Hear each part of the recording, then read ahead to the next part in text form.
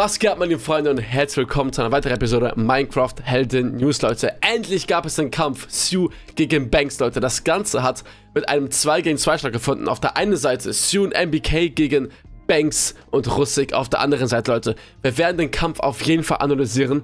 Wir können auf jeden Fall schon mal sagen, dass Russik leider, leider, leider downgang ist, meine lieben Freunde, in diesem Kampf. Kein anderer ist in den Kampf downgang. Wir werden den Kampf analysieren. Zuerst gehen wir aber erstmal rein in die ganzen Übersichten, in das Power Ranking, denn da hat sich wirklich sehr, sehr, sehr viel geändert. Und zwar, Leute, seht ihr, hier gab es auf jeden Fall einige Änderungen im Vergleich zur letzten Folge. Ich habe Banks nach diesem Kampf, den wir gleich nochmal gründlich analysieren werden, Leute, äh, wieder runtergerankt. Ich hatte ihn ja kurzzeitig nach diesem Kampf im Wasser, nach diesem richtig krassen Kampf zwischen den Ampelkriegern und den Königskriegern, äh, habe ich mir 9,1 gegeben nach dem heutigen Kampf downgrade ich aber wieder zurück auf 9,0, meine lieben Freunde. Die ganzen Gründe werde ich euch gleich natürlich, wenn wir den Kampf analysieren, verraten. MBK habe ich von 7,0 eine 8,0 gegeben, Leute. Das ist ein riesengroßer Sprung, Leute.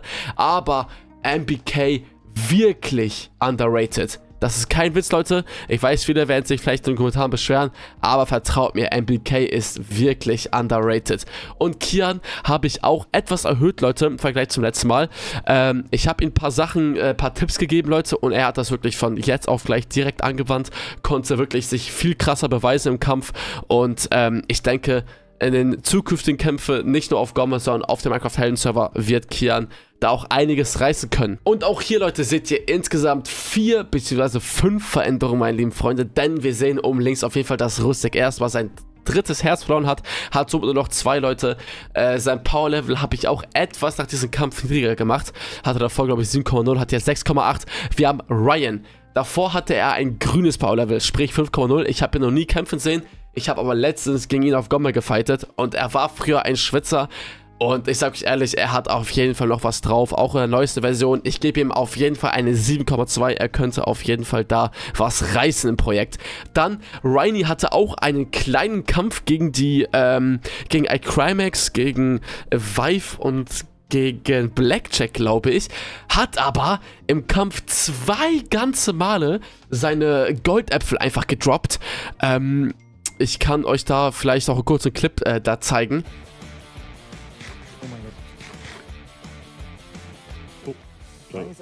Und ja, Leute, genau deswegen hat er, weiß nicht, irgendwie ein bisschen, äh, ja, weiß nicht, die, die Hotkeys nicht richtig gehabt. Auch sein 1.8-Schwert, äh, was er da hat, womit man anscheinend 1.8 PvP machen kann, ähm, hat er auch nicht richtig wie 1.8 benutzt. Wahrscheinlich werden die Hits dann nicht wirklich registriert, wegen dem Balken, der trotzdem vorhanden ist. Aber dann denke ich mir, warum kämpft man da mit dem 1.8-Schwert, was viel weniger Eingriffsschaden hat als ein Diamantschärfe 5-Schwert. Weiß ich auch nicht, Leute. Aber Ryan trotzdem als Spieler. Dann haben wir noch Alpha-Stand äh, auch ein bisschen niedriger gemacht, weil er äh, im Kampf gegen Sue auf jeden Fall richtig krass äh, kassiert hatte letztes Mal. So, Freunde, kommen wir nochmal ganz kurz zur Clan-Übersicht. Und hier sehen wir, dass Denergy und Ryan jetzt Anwärter sind für die Ampelkrieger. Alpha-Stein ist somit offiziell drinne, aber Ampelkrieger äh, versuchen jetzt zwei neue Mitglieder durch Denergy und durch Ryan zu bekommen, was den Clan nochmal um einiges boosten wird, vor allem durch Ryan, Leute, weil Ryan wirklich ein sehr starker äh, Spieler ist. Eiskrieger, äh, das habe ich gerade gar nicht angesprochen, aber ja, äh, die Herzen waren auf jeden Fall äh, weg. Army hat ein Herz verloren, Leute, durch äh, iCrimex. Wir gucken das gleich auch nochmal an in der Killliste, Leute, wie sich da alles verändert hat, aber Ryan und Army immer noch bei den Eiskriegern. Weil Denergy jetzt natürlich bei den Ampelkriegern äh, oder probiert zu den Ampelkriegern zu gehen, äh, muss er natürlich den Königskrieger verlassen und ist somit, äh, beziehungsweise der Clan besteht somit nur noch aus vier Mitgliedern, immer noch sehr, sehr, sehr stark. Ich glaube, äh, MBK wird jetzt auch sich offiziell bald den Königskriegern anschließen, wenn er es sich jetzt schon getan hat. Bei den Paubia Rittern bin ich mir immer noch unschlüssig, ob dieser Clan jetzt noch besteht oder nicht. Äh, da haben sich die Wege auf jeden Fall von einigen getrennt. Trotzdem kämpfen wir noch zusammen. Da bin ich auch noch ziemlich unsicher, Leute. Falls ihr da mehr wisst, schreibt es mir auf jeden Fall in die Kommentare. Okay, Leute, kommen wir jetzt zur Killliste. Und zwar sehen wir, dass iCrimex jetzt mit drei Kills immer noch auf Platz 2 ist. Er rückt Ente immer näher mit seinen Kills. Hat natürlich durch den Kill äh, von Amir jetzt äh, sich noch hochgepusht. Hat jetzt drei Kills. Und wir sehen auch auf Platz 2 jetzt, äh, auf Platz 3, sorry. Mittlerweile jetzt auch MBK mit seinem zweiten Kill, der heute geschehen ist, auf Russik. Und ich bin jetzt echt gespannt, Leute. Wir gehen jetzt rein in die 2 gegen 2 Kampfanalyse. Okay. Okay, meine Freunde, wir gehen jetzt rein in die Analyse zwischen den beiden Teams, Leute. Ich bin echt gespannt und ich will auch nicht wirklich um den heißen Brei rumreden. Wir gehen direkt rein. Let's Okay, Go. ein Dingens und keine Ahnung. Okay, okay, okay. So, Leute, ich hoffe, man hört alles. Okay, macht einer von euch 3, 2, 1, Go und ja, und dann geht's So, los. okay, jetzt muss der Ton passen, Leute. Okay, wer macht?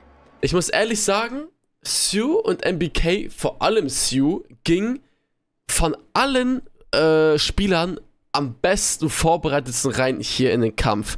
Sue, glaube ich, mit äh, über eineinhalb Stacks Goldäpfeln, zwei Stacks äh, äh, Cobwebs, also äh, Spinnnetzen, genug Wasser, genug Lava. Also Sue wirklich äh, sehr, sehr, sehr vorbereitet, finde ich sehr, sehr, sehr gut, Leute.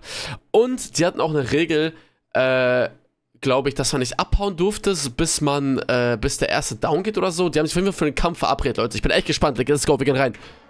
Ihr wollt, macht ihr ruhig. Okay, drei, Zwei, eins. eins. Oh, let's go. Oh mein Gott. Das, das, fängt jetzt schon super an hier.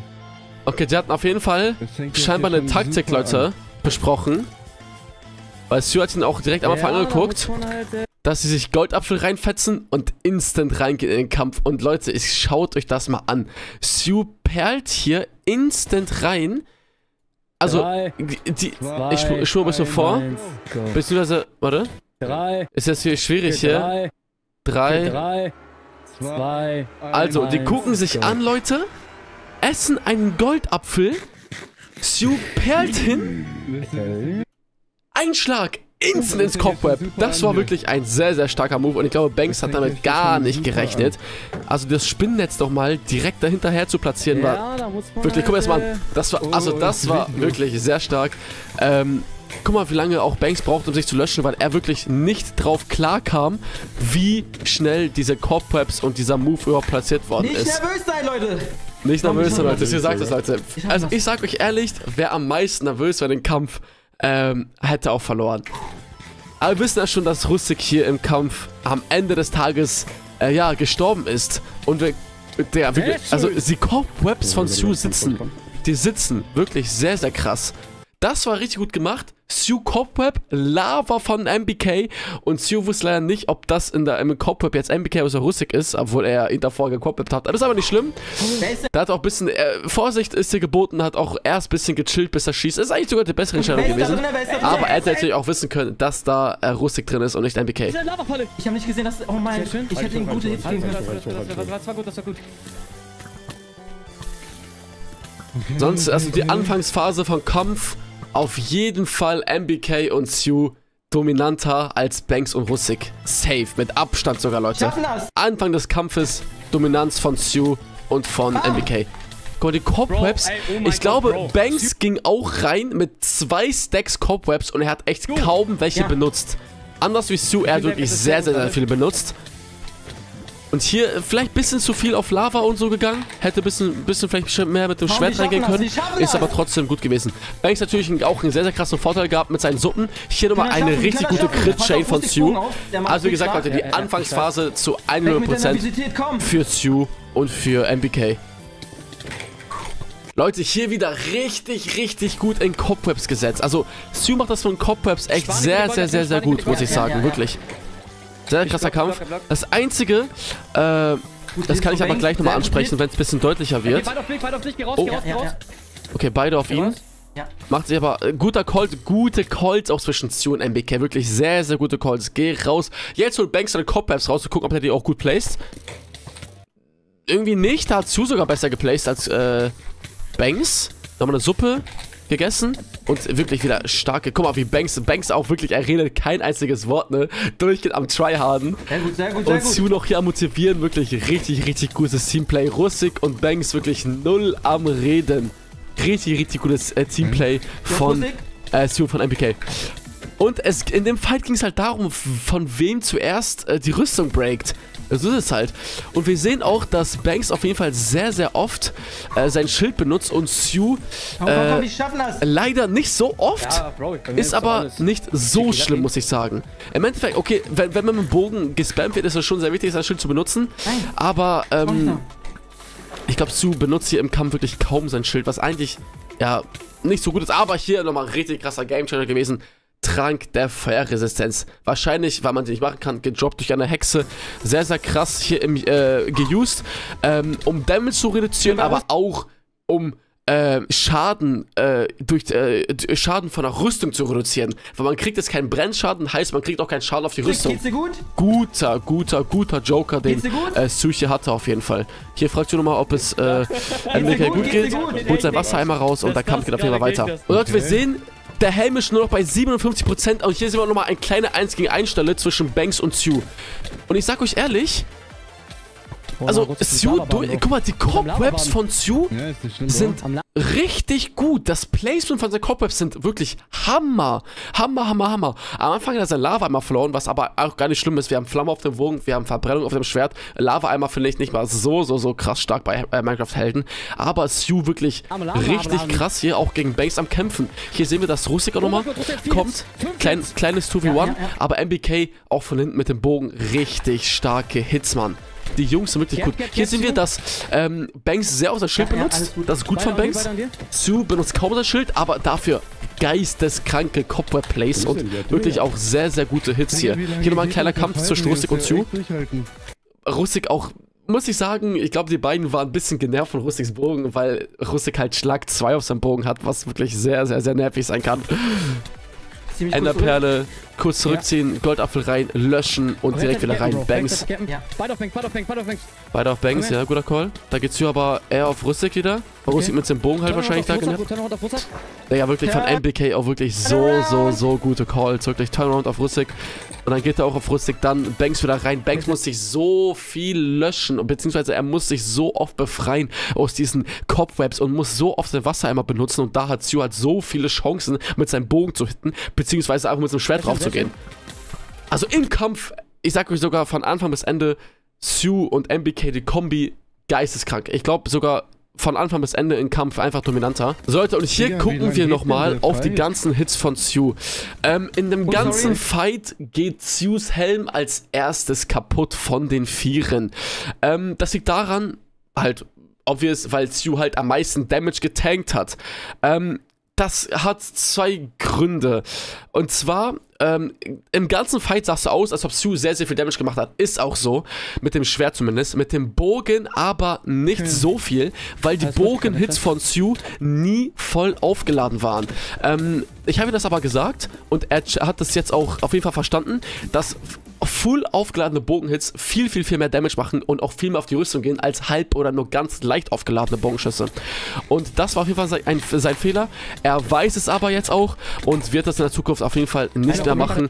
Ähm, und der zweite, ähm, ja, das, der, der zweite Punkt, warum Sue's Helm sehr, sehr viel Damage bekommen hat, ist halt durch die ganzen Bogenschüsse von Rustik und die ganzen Hits von Banks, die halt von Sue äh, in dem Fight nicht geblockt wurden durch das Schild. Und äh, da sind wir auch gleich im Kampf. Äh, der, der Helm nur noch 10%. Ähm, aber ich sag euch ehrlich, äh, auch wenn das. Wir, wir schwimmen gleich vor bis zum Punkt, wo sein Helm breakt. Minecraft hatte trotzdem noch über 1 der Gold erfüllt. Ich sag euch, auch wenn der Helm weg ist, Stu hätte noch sehr, sehr, sehr viel getankt. Wir sehen hier nochmal ein kleines 1 gegen 1. Banks noch irgendwie in eine Suppe ins Inventar reinpacken. Äh, äh, haben wir da gerade gesehen. Äh, auf dir? beide Bogenhits Ja. gehen gerade nicht rein. Stu auch gerade kein. Wasser. Ah, doch, er hat Wasser im Inventar, sorry. Ich habe gerade nur auf den letzten Slot geguckt. Er hat noch Wasser auf jeden Fall. So, kurze Enderperle, Goldapfel rein, löschen. Sehr, sehr, sehr gut, Leute. Aber generell im Kampf alle vier finde ich bisschen zu wenig gelöscht. Das geht so krass auf die Rüstung, Leute. Generell alle vier hätten sich auf jeden Fall sein. viel, viel, viel besser löschen können. schaffen. Oder viel schneller löschen können. So, Freunde, und hier ist die Stelle, wie Sues Helm kaputt geht. Bam, weg. Sues Helm kaputt, Sues Helm Banks kaputt. spricht es auch direkt an. Sues Helm kaputt.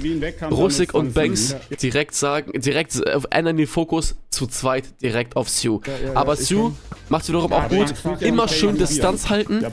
Ähm, Ja. Goldapfel, er, Ja, Leute, seht, er hat noch Der Schuhe 60 dann Goldäpfel. Einfach spammen. Seine Schuhe auch noch auf 17%. Die Ja, ja, Schuhe, äh, das wäre das nächste, was kaputt gehen äh, würde. Aber zu, der, zu diesem Zeitpunkt hatte MBK von allen Vieren noch mit Abstand am meisten Prozent einer Rüstung. Weil MBK, ich finde, wie gesagt, MBK, nochmal Props an ihn. Ich finde ihn den MVP im ganzen Fight.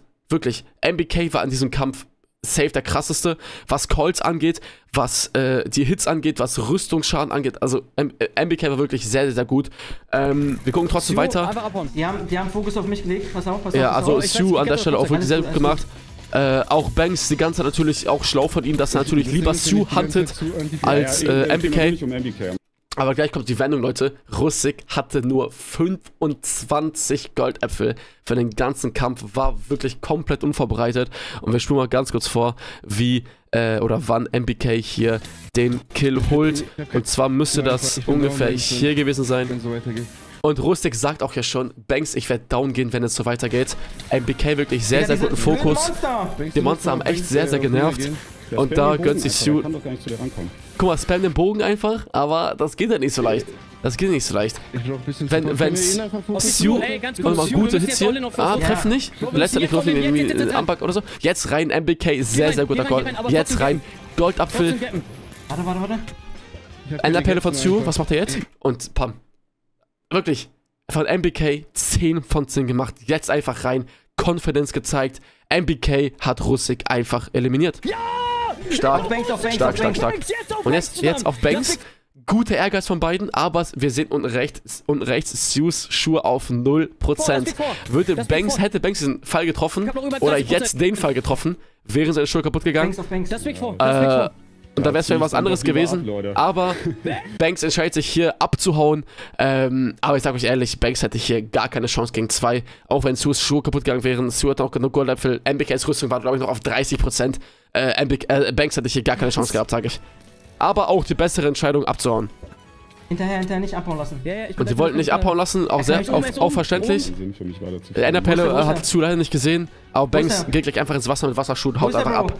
Äh, und ja, aber diesen Kampf, dieser Kampf geht auf jeden Fall an Sue und an MBK. Von Anfang bis Ende fand ich die beiden auf jeden Fall dominanter. Die beiden waren besser vorbereitet, die hatten Strategien. Und ja, äh, wirklich äh, krass aufgefallen ist die MBK. Sue auch, die, also dieses Sue-Format, wirklich geistkrank. Äh, Rustik fand ich ein bisschen am äh, schwächsten, aber die, die Hits und die ganzen Cobweb-Plays von Sue waren wirklich richtig, richtig gut. Besonders äh, bei den 1 gegen 1 Kämpfen gegen Banks. Und ja, Leute, ich hoffe, euch hat die Analyse und äh, das ganze Ranking hier gefallen, meine lieben Freunde. Lasst auf jeden Fall einen Like und ein Abo da. Würde mich sehr, sehr freuen. Und ich würde sagen, haut rein. Bis zum nächsten Video. Euer Tridan und ciao.